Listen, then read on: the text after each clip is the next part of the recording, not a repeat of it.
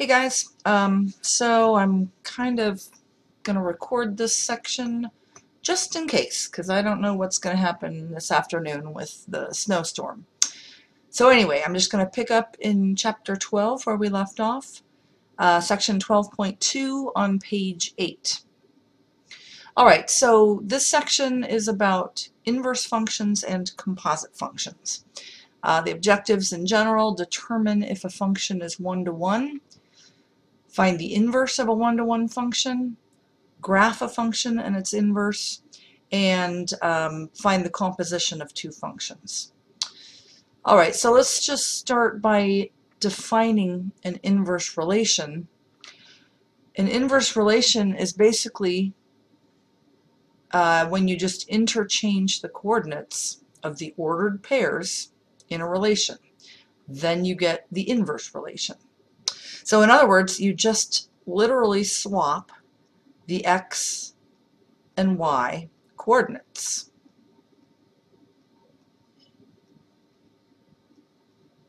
Okay, swap the x and y coordinates of each ordered pair.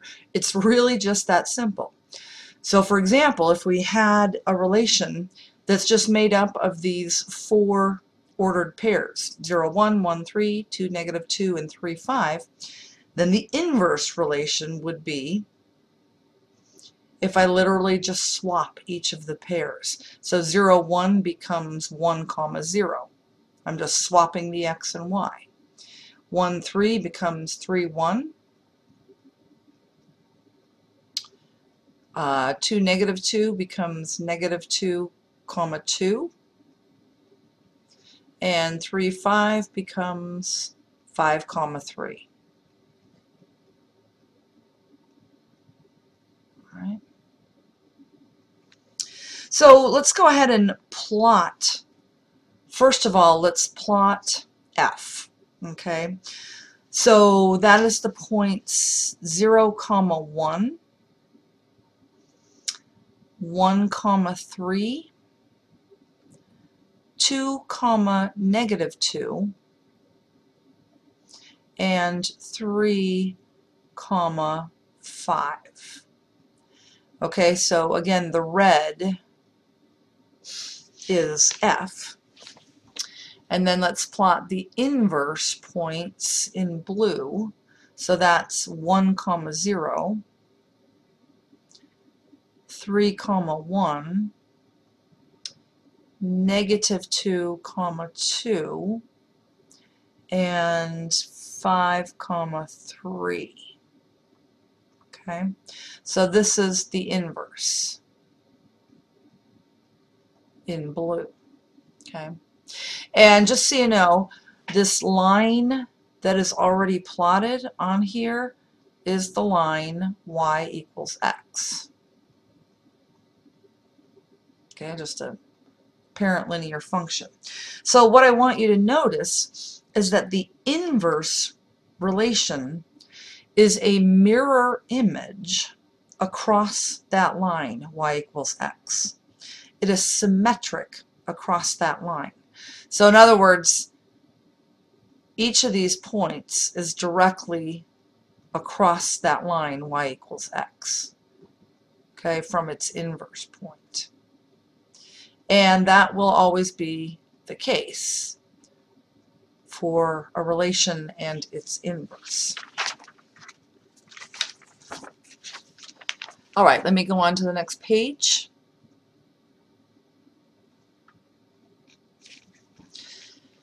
So, one-to-one -one functions. We want to be able to find the inverse of a function and the inverse of a function is just another function. Okay, so let's say we have a particular function f of x. Its inverse function is called f, and then it's a superscript minus 1. Or more formally, f minus 1 of x. That's just the notation. That's how you write an inverse function. And just to be clear, it does not mean 1 over f. Okay, this just specifically means an inverse function. Okay, but a function only has an inverse if it is a one-to-one -one function.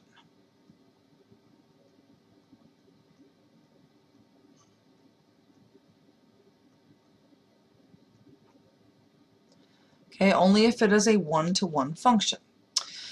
One-to-one -one means that each x has a unique y.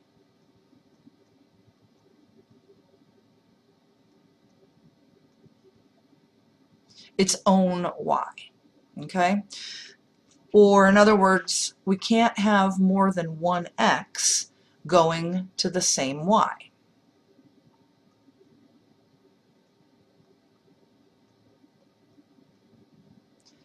All right, so the important results here are if a function f is not one-to-one, -one, then it does not have an inverse, and f inverse does not exist.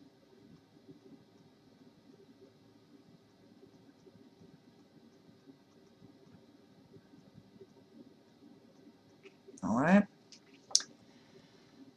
Okay, I'm going to erase all that and scooch down. Um, so this is a really good figure. I think it's not from our book. I think it's actually from our pre-calc book. But I think it is, um, it clearly shows some of these definitions.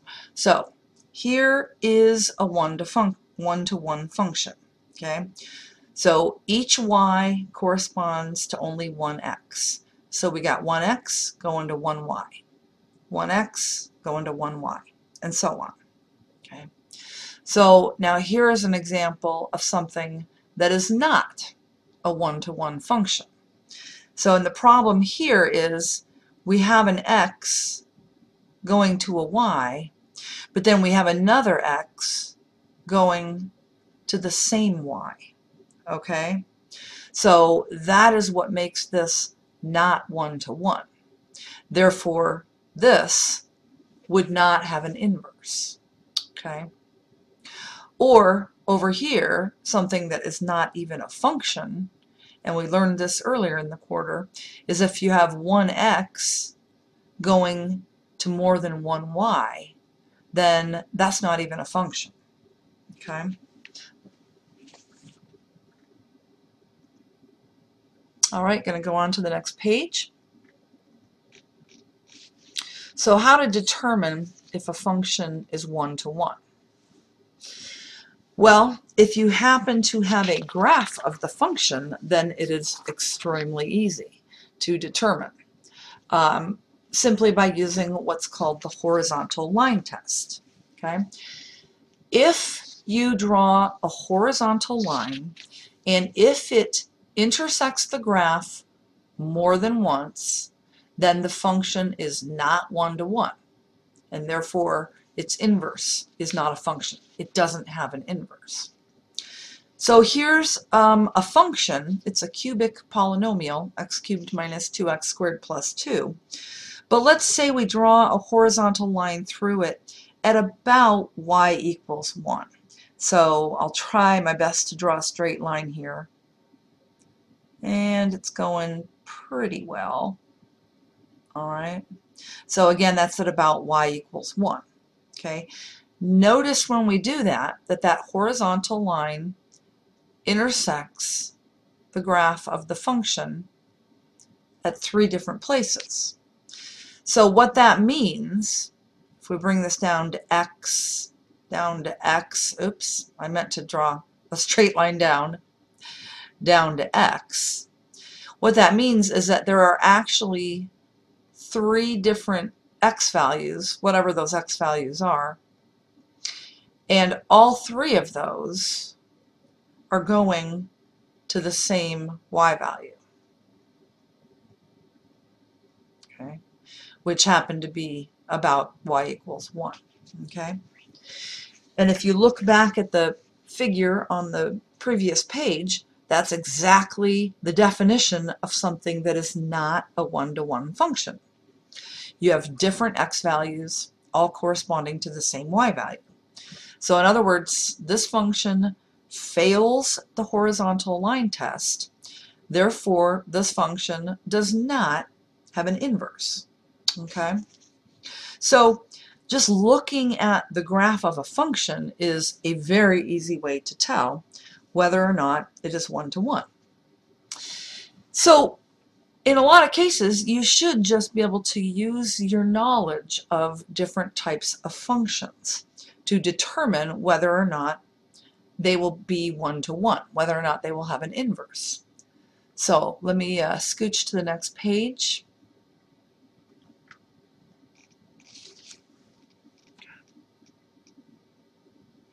Me just make this a little smaller so I can fit the whole page. So there's a lot of uh, different types of functions that we have looked at in this class. Um, so what I would do if we're in class is just pause for a couple minutes and let you guys go ahead and just make a very rough rough sketch of each of the following types of functions. So go ahead and pause if you want. Um, linear, quadratic, absolute value, square root, and exponential, all of which we have looked at during this class, you should be able to just make a very rough sketch and then determine whether or not that type of function is one-to-one -one or not.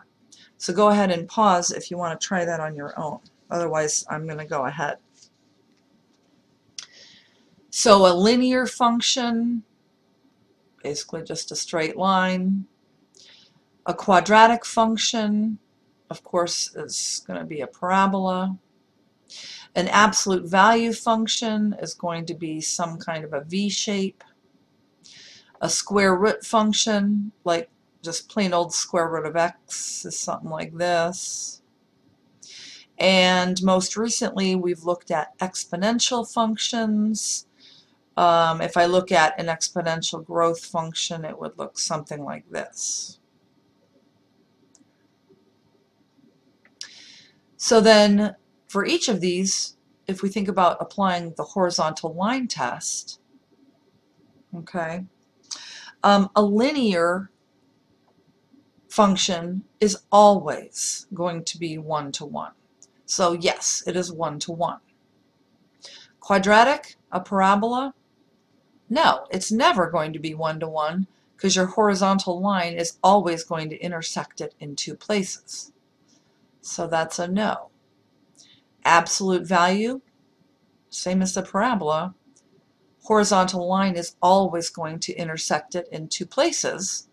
So no, it's never going to be one-to-one. -one. A square root function, yep, it's always going to be one-to-one. -one. Therefore, it's always going to have an inverse. And an exponential function, yes. Okay. It's always going to be one-to-one. Therefore, it's always going to have an inverse. All right, I'm going to go on to the next page.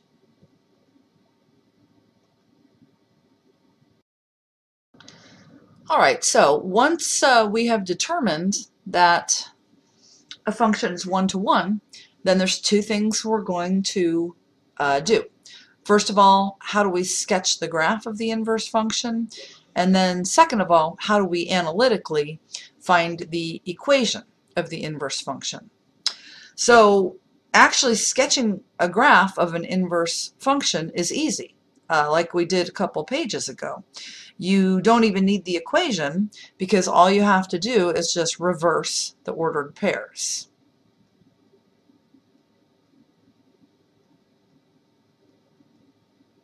from the graph.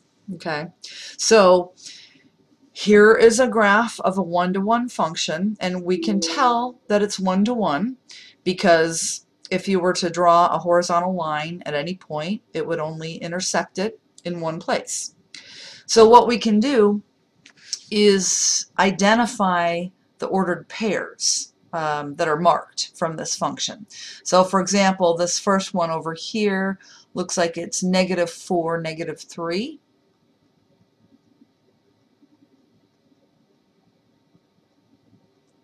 Sorry, that's a negative sign.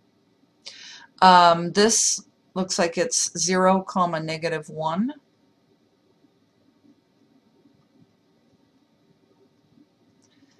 All right, this one is 1, comma, 0.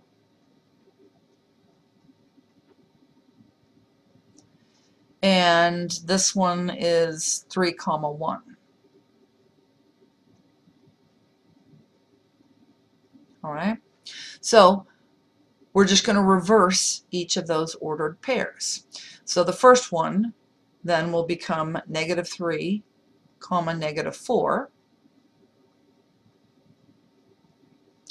Uh, the next one will become negative 1, comma, 0.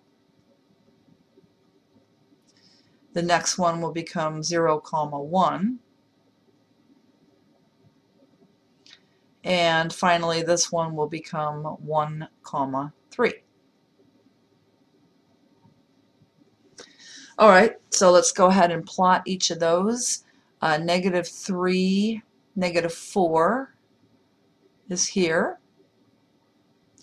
Uh, negative 1 comma 0 is here. 0 comma 1 is here. And 1 comma 3 is here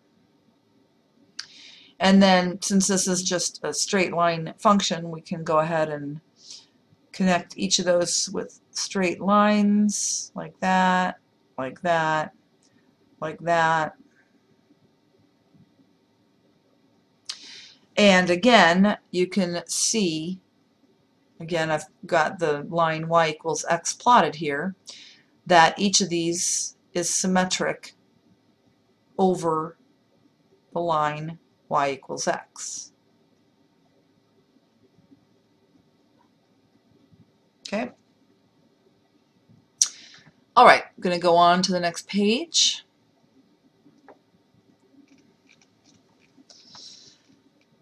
How to actually find the inverse of a one-to-one -one function. So we just did a graphic solution, but now we're talking about analytically finding the equation of an inverse function. So here's the method as is described in the book. Uh, if a function f is one-to-one, -one, a formula for its inverse can be found as follows. Replace f of x with y. Okay, these two things mean the same thing, exactly the same thing. y is f of x. And then interchange, or I always call it swap, x and y that gives us the inverse relation. And then solve for y. Um, and I'll, I'll walk through an example here and show you what all this means. And then we replace y with f inverse of x. Okay. So here's an example. Here's our function f of x equals 1 half x minus 3. Now we know, just from looking at it, that is a linear function Therefore, we know that is one-to-one, and it has an inverse. Okay, so we rewrite it first. This is step number one. Just replace that f of x with y. So in other words, just write it as y equals 1 half x minus 3. Okay, step number two. Exchange the x and the y. So in other words, this becomes x and this becomes y. So x equals 1 half y minus 3. Okay? And that is the inverse function. But we don't normally write our equations like that, x equals stuff. We normally write y equals stuff. Okay, so that's why in the third step we want to solve that equation for y. y equals what? So just simple algebra at this point. Um, start by adding 3 to both sides. See, I'm going to add 3. I'm going to add 3. Okay, so we're going to have x plus 3 equals 1 half y. Okay, so I don't want 1 half y, I want just y. So therefore the next step is multiply both sides by 2. Okay, so I'm going to multiply this side by 2 and I'm going to multiply this whole side by 2. Okay. So now we're going to end up with 2x plus 6 equals y. Okay. Or, you know, if I just reverse that, y equals 2x plus 6. Okay. And then finally, step number four up here, just replace the y with f inverse of x. So in other words, the inverse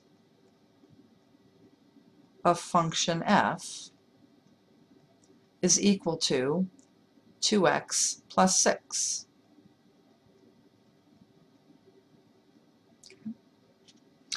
All right, so let's plot the function and its inverse on the next page, and then we can verify graphically that indeed they are inverses. All right, I'm going to go on to the next page.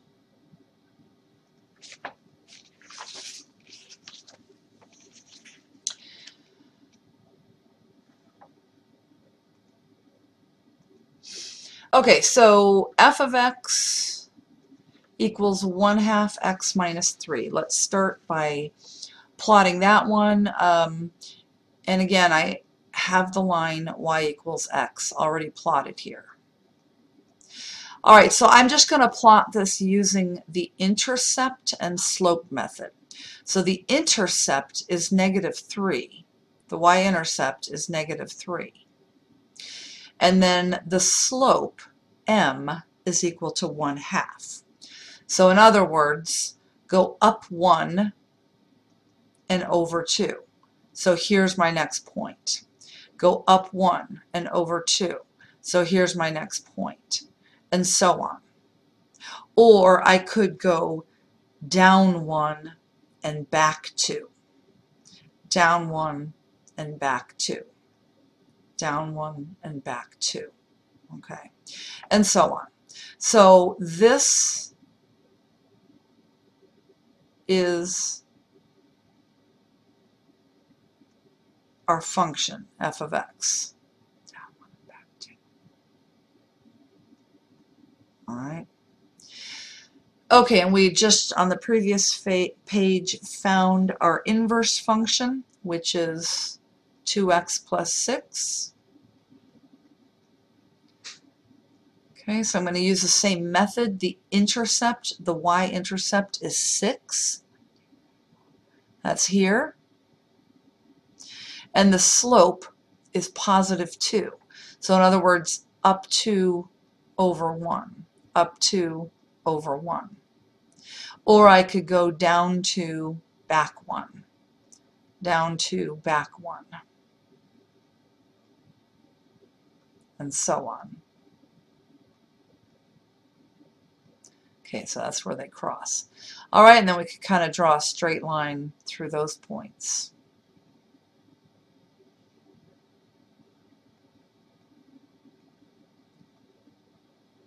All right, so my graph is not amazing, but you can see, you know, as we saw before, that each of these points is straight across from its uh, point on the original function. Okay. All right, let me pause here for a second. All right, so uh, let's look at one more example here of how to take a function and analytically find its inverse. All right, so this is f of x equals 2x minus 1 over 5x plus 3. Find the inverse. Okay, same first step as before. Uh, replace the f of x with y. So we're just going to rewrite that as y equals 2x minus 1 over 5x plus 3.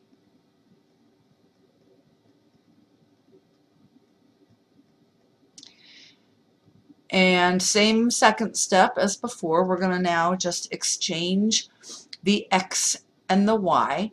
And in this case, we have two instances of x, so they're both going to turn into a y. So this is going to become, I'm just going to come out here so I have more room, uh, x equals 2y minus 1 over 5y plus 3.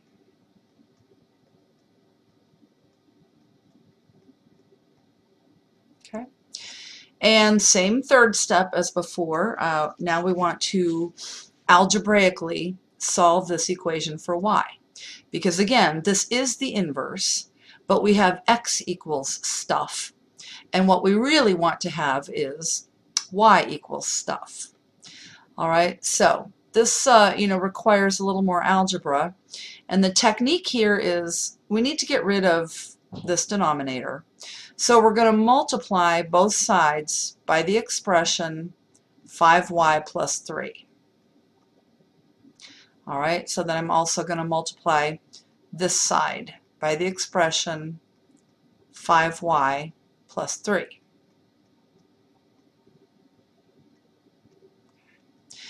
All right, so on the right-hand side here, then these two expressions just cancel each other out.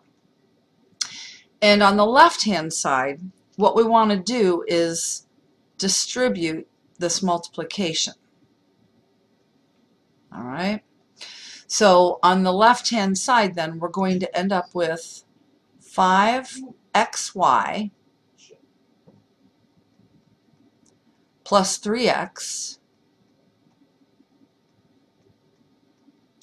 and then we have equals, and then what we're left with over here is just 2y minus 1.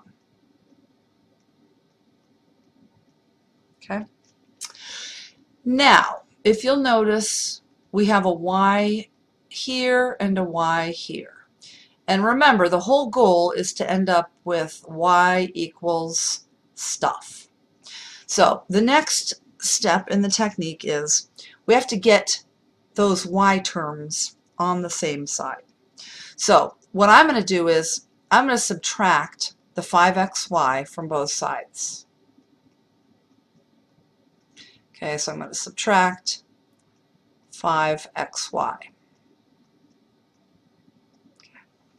And at the same time, just so we can be a little efficient here, then we want to move the other stuff to the other side. So let's go ahead and add the 1 to both sides. And then let's see what we end up with. On this side, I'm going to end up with 3x plus 1. And then on this side, I'm going to end up with 2y minus 5xy. Alright, so now we've got the y's exactly where we want them on the same side. And the next step in the technique is on that right hand side, we want to factor out a y. Because again, we want to get y by itself. So nothing's going to change here. 3x plus 1 equals, and then I'm going to factor out the y, and then times what's left, 2, minus 5x. All right, so we've got 3x plus 1 equals y times the quantity 2 minus 5x. And then there's only one step left to isolate the y, which is just now divide both sides by 2 minus 5x.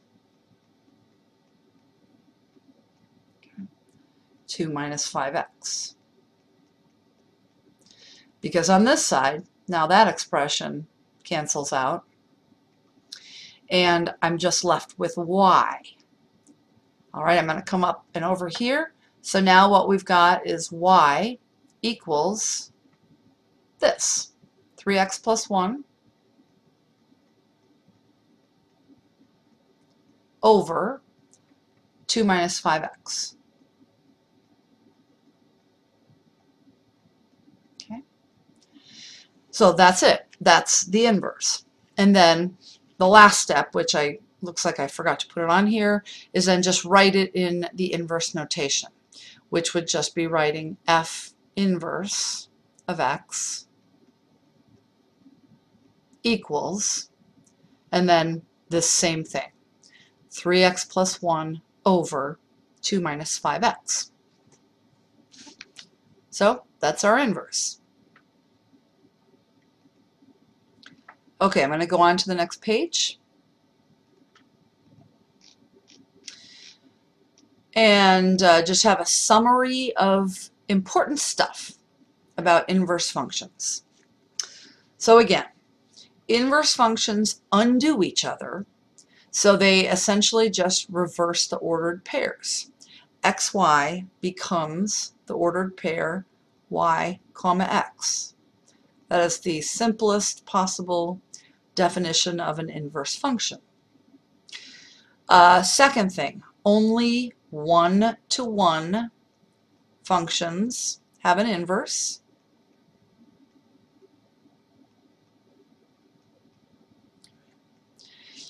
Uh, the easiest way to determine if a function has an inverse is by using the horizontal line test and also just by using your knowledge of the type of function and whether that type of function uh, is one-to-one. -one. And also we saw that the graph of a function and its inverse are symmetric with respect to the line y equals x. Okay. All right, so I'm going to pause for a minute. Um, I think I have three problems for you guys to work on. And I'm just telling you that these are one-to-one. -one. Find the inverse function for each. So this is a linear function, uh, a cube root function, and then um, this one is most like the last example that I just did. So pause and please uh, take a few minutes and try to solve these yourself and then I'll come back and go through the solutions. Alright, so let me start uh, with number one. So we're going to start by replacing this with y. So y equals negative 7 eighths x plus 2. All right, next step is exchange uh, the x's and y's. So we're going to have x equals negative 7 eighths y plus 2. And now we want to solve for y equals stuff. So first step, subtract two, the 2 from both sides. So we have x minus 2 equals negative 7 eighths y. All right. Then we want to get rid of that negative 7 eighths multiplier. And the way to do that is to multiply by its reciprocal, which is negative 8 over 7. So we need to multiply both sides by negative 8 sevenths. Whoops, I meant to put that there, of course. So this and this cancel, so then we're just left with y equals, and then over here we have negative 8 sevenths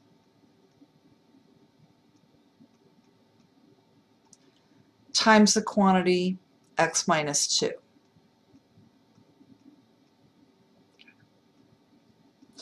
And I noticed when I checked this in the back of the book that they actually left the answer in this form. They didn't multiply it out. And again, you know, that's the same as f inverse of x. Now I personally would have gone ahead and multiplied this out which would have given you negative 8 sevenths times x. And then minus times a minus, it's going to turn into a plus 16 sevenths. So just be aware, you know, this and this obviously are equivalent. Uh, be on the lookout for different forms of answers just so you make sure that you recognize that you got the right answer. All right, so in either case, uh, this is the inverse function. All right, I'm going to go on to the next page. Okay, number two. And this one is actually um, much easier than it looks. Uh, let's start by replacing f of x with y. Okay, so y equals the cube root of x minus 4. All right, swap the x and the y. So the inverse function is x equals the cube root of y minus 4. And now we need to solve this for y equals stuff. So we need to get this out from underneath the cube root. And the way to do that is just to do the inverse of this. Uh, the opposite of taking the cube root is cubing it. So in other words, I need to cube the whole equation. Okay. So now that's going to give us x cubed equals, so the cube root cubed is just the stuff. Alright, so it just equals y minus 4. And then obviously the last step is to just add 4 to both sides of the equation. So we're going to end up with y equals, and I'm adding 4, x cubed plus 4. Okay. That is the inverse, and if we write it with the inverse notation, f inverse of x equals x cubed plus 4. Okay. All right, I'm going to erase and scooch down a little.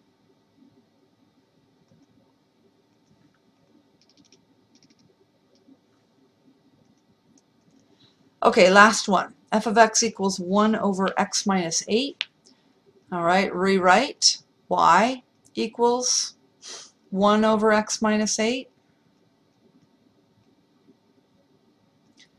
Swap the x and the y. So x equals 1 over y minus 8.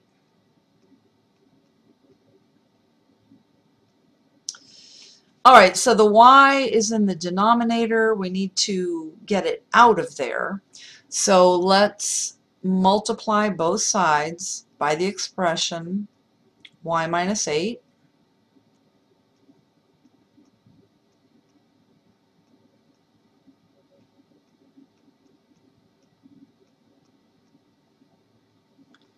Just like that. Okay, so on the right hand side, these expressions cancel, which is what we wanted. So we're left with y minus 8 times x equals just 1 is all we have left on the right hand side. And I want to get this y by itself. So in this case, I'm not going to multiply this in because all we have to do is just divide both sides by x.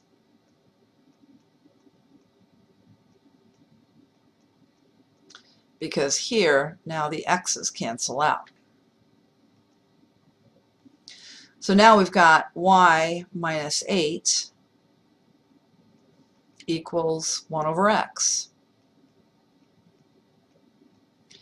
And then to get last step to get that y by itself is just add 8 to both sides.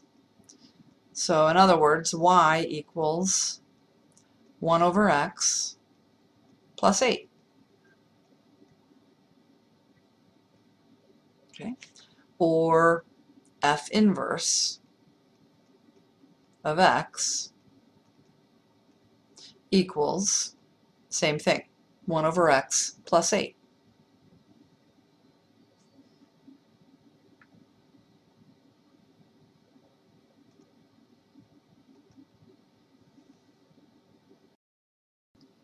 All right, so last uh, topic for this section is composite functions.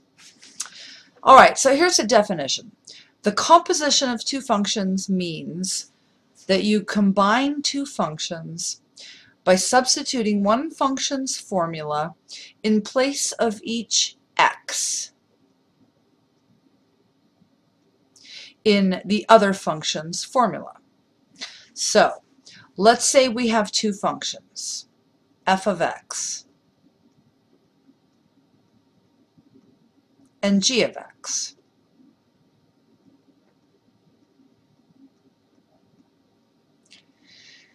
All right, so the composition of functions f and g can be written as this, f of g of x, or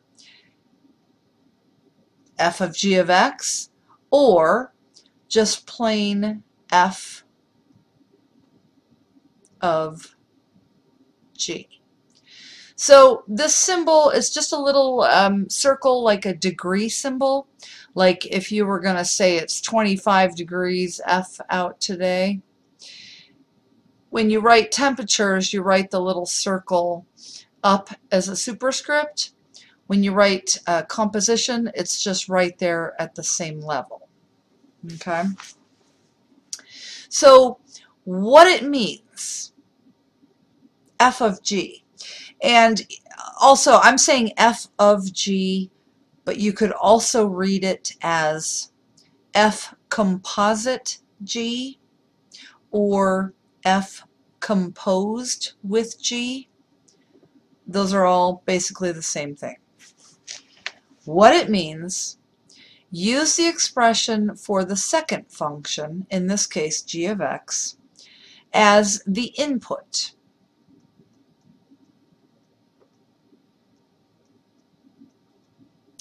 Or as the x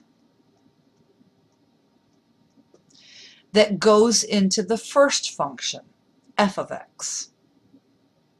So in other words, when we see f composite g, I always rewrite it immediately as this.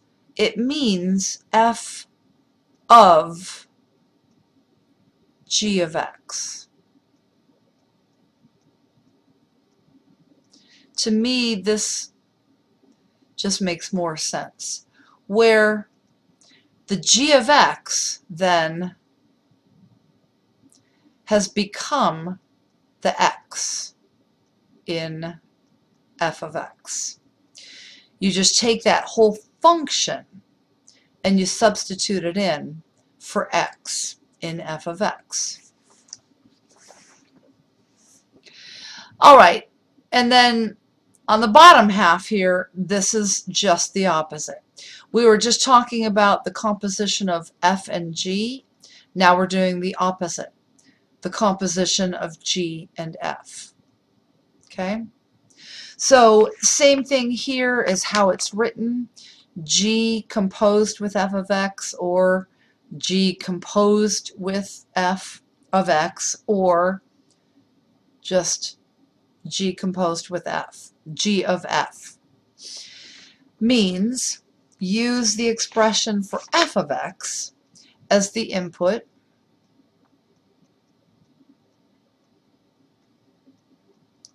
or in other words as the x that goes into the function. So in this case,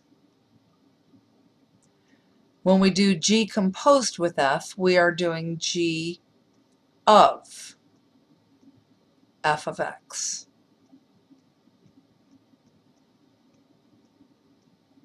Okay, so same thing, this time the function f of x acts as the x. We just substituted it in. Okay? And just a comment down here that order is important because composition of functions is not commutative. In other words, f composed with g is usually not equal to g composed with f.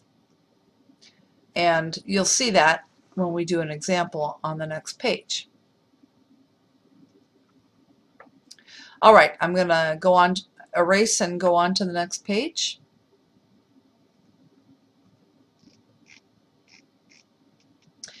Okay, let's look at a couple of examples. So we have uh, two functions, f of x equals 4x plus 3, g of x equals 2x squared minus 5. And let's start by finding f of g of x, f composed with g. Okay. So again, what this means is we want to do f of g of x.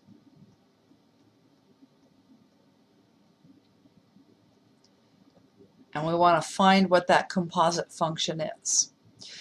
So we want to use g of x as the x in f. So in other words, I'm going to take this whole expression for g of x and I am going to substitute it in to the x in f of x. Alright, so f of g of x is going to be 4 times, alright, so now for x I'm going to substitute in this entire function. 2x squared minus 5. And then we have the plus 3. All right? Okay, so and then we just want to simplify this by distributing the multiplication. So we're going to have 8x squared and then 4 times minus 5 is going to be minus 20. And then we still have the plus 3. And then last step, let's just, we can combine these two uh, constants. So we're going to have 8x squared. And then negative 20 plus 3 is going to be uh, negative 17. So that's it. That is equal to F composed with G.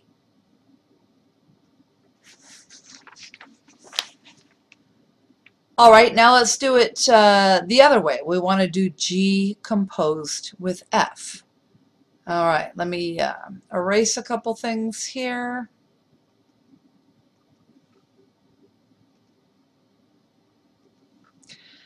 So to do G composed with F. Now I want to do G of f of x. Okay. So in other words, now f of x is going to become the x that goes into the g function. So this is going to get substituted for x in g of x. Okay? So in other words, I need to do 2 times x squared. Well, x is now 4x plus 3. So 4x plus 3 quantity squared and then we have minus 5. Okay. All right, so 4x plus 3 quantity squared, let's just write it out. So it's going to be 2 times 4x plus 3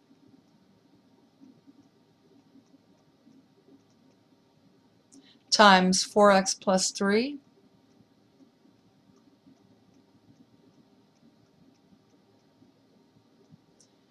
and then we still have the minus 5 at the end. Alright, so we're going to have 2 times, and now to do this we just need to FOIL them. Alright, so we got 4x times 4x, that's 16x squared. Now let's do a couple steps here and combine them. We have 4x times 3 for the outer. That's 12x. And we have 3 times 4x for the inner. That's another 12x. So that makes 24x.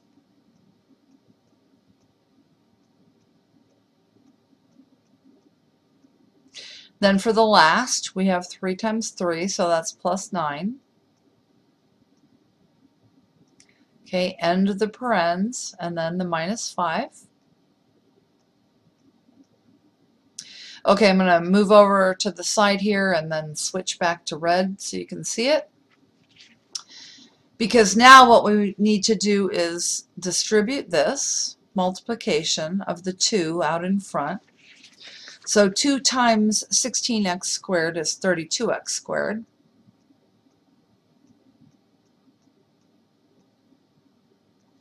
And then 2 times the plus 24x is plus 48x.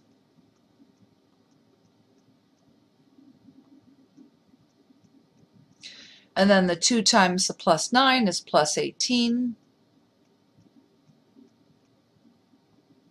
And then we still have minus 5 at the end. Okay. And the last step is we can combine the 18 minus 5. So we're going to end up with 32x squared plus 48x and then plus 13. Okay? So that's basically the final answer. That is equal to G composed with F.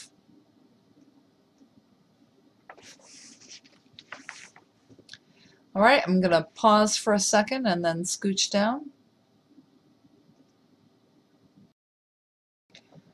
Okay, so let me do uh, just one more example where f of x equals 1 over x squared, g of x equals x minus 1. So if we want to do f composed with g, in other words, we want to do f of g of x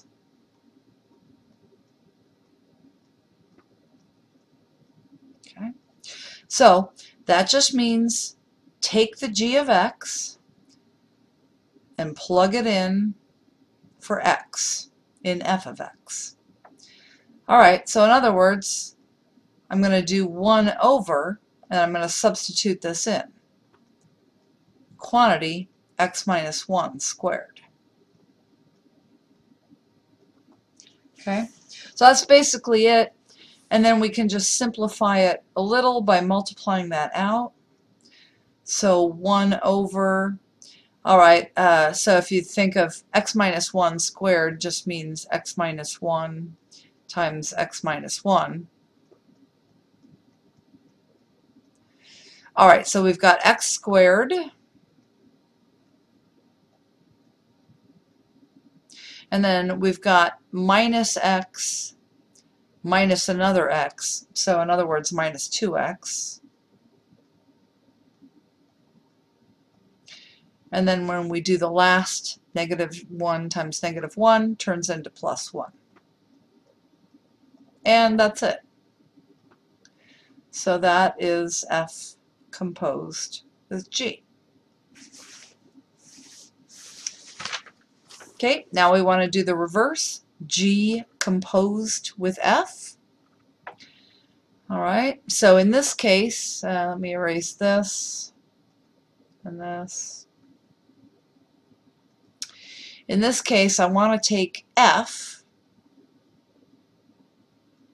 and substitute it in for the x in g of x. So g of f of x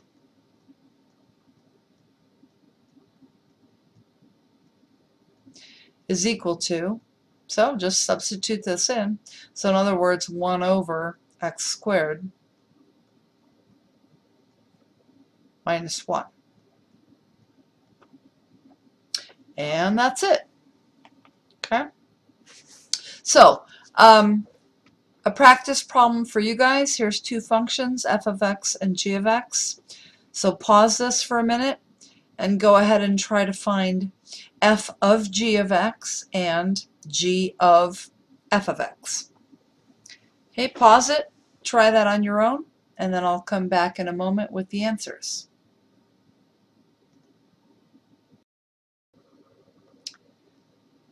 All right, so the for the first one, uh, we want to do f composed with g. So in other words, we want to do f of g of x.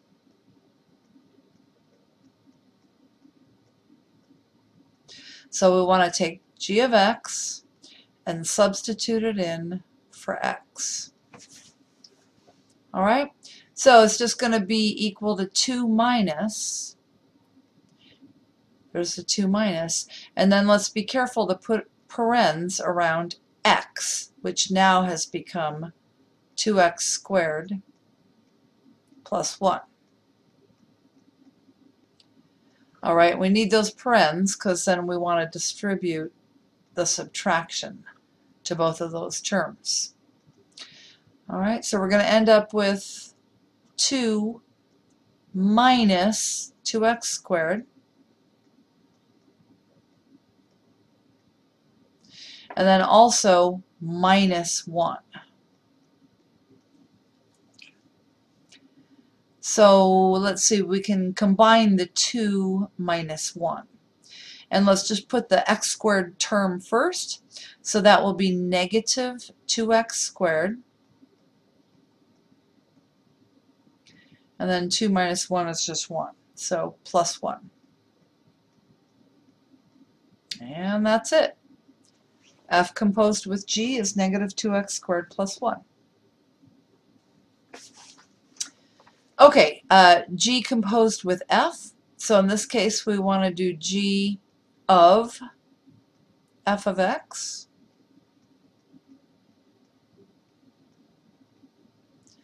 And let me erase up here. So in this case, I want to take f of x and substitute it in for the x here. All right, so we're going to have 2 times, and then it's x squared. So I need to do like this because I'm going to substitute in 2 minus x. So we want to do this squared and then plus 1. Okay. All right, so again, here we need to multiply this out. 2 minus x times 2 minus x. Let me just come over here and do that part. So 2 minus x times 2 minus x. We're just going to FOIL that. So we get 4 and then we're going to have minus 2x minus another 2x. So that's going to be minus 4x. And then the last, minus x times minus x, that's going to turn into plus x squared. So that is what the 2 minus x squared equals. So let's uh, come down here. So we've got 2 times that. So 2 times 4 minus 4x plus x squared. And then we still have this plus 1. All right, so we need to distribute this multiplication here.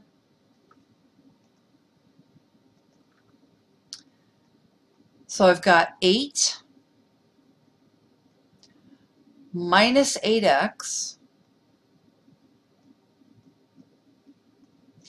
plus 2x squared and then we still have this plus 1 at the end. So then we can combine our constant terms, the 8 plus 1, and then just put everything in the right order. So it's going to be 2x squared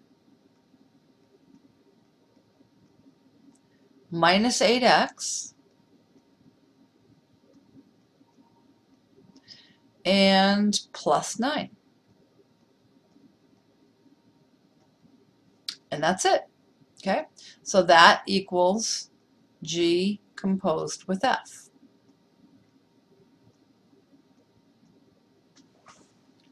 All right, that is it for now. I'll talk to you guys later.